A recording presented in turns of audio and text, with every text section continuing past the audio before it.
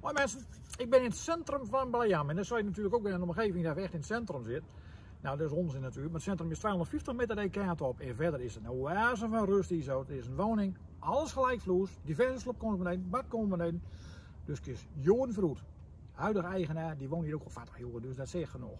Uh, Kontje grenst aan het bos. Super plekje.